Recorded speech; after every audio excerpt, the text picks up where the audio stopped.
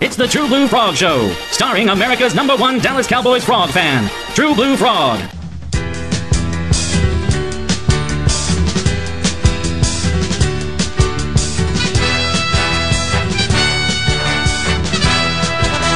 True Blue Frog likes neither the Packers nor the Steelers.